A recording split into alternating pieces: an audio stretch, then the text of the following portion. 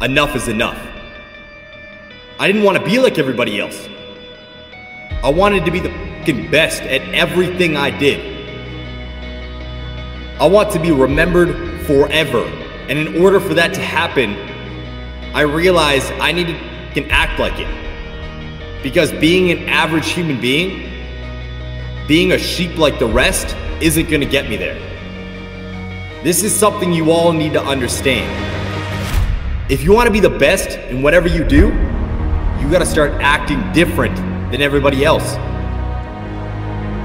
If you want the nicest car, if you wanna live in the nicest neighborhood, if you want the nicest clothes, the nicest jewelry, the nicest partner, the best of everything comes with a price. It comes from grinding through those late nights. It comes from grinding through those early mornings. It comes from those exhausting days where every fiber of your body is telling you to give up. If you want to separate yourself from other people in the world, you gotta start acting differently. And it starts with taking responsibility for your life. You see, every day you are presented with two paths.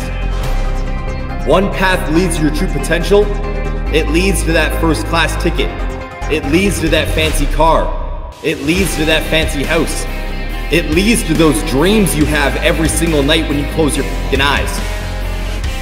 And the other path is you staying the same. You see, most of you are stuck on the path of staying the same because you don't understand how to take responsibility for what is happening in your life. It's not that you don't want everything that comes with the path that leads to your true potential, but you are too hung up on blaming the past and the present. You are too hung up on blaming your mom for how she treated you when you were younger. You are too hung up on blaming your teachers for how they spoke to you.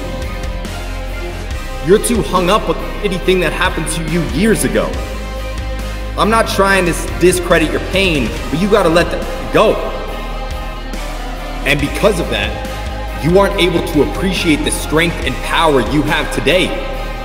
You aren't able to step into that power because you are choosing to justify excuses every single time you open your eyes. It's time to take responsibility. Understand that you are in control of how you feel every day. What you do every day. How you act every day. So don't get it twisted. The excuse that these outside sources control how you feel, what you do, and how you act is just a justification that has been drilled into your head since you were younger. Break out of it.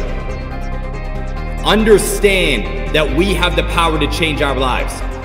Stop putting the power in other people's hands by blaming them for your current situation. Take that back. Choose to shift the trajectory of your life so you can live up to your true potential. The King Eric Thomas said it best. Everybody wants to be a beast until it's time to do what beasts do. Guess what?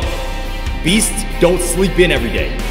They understand that they need to sacrifice sleep in order to be successful. Beasts don't binge watch Netflix. When they want to change their life, they utilize that time to take action. Beasts don't blame the past for where they are in the present. They utilize that pain as a lesson so they can see more success in the future.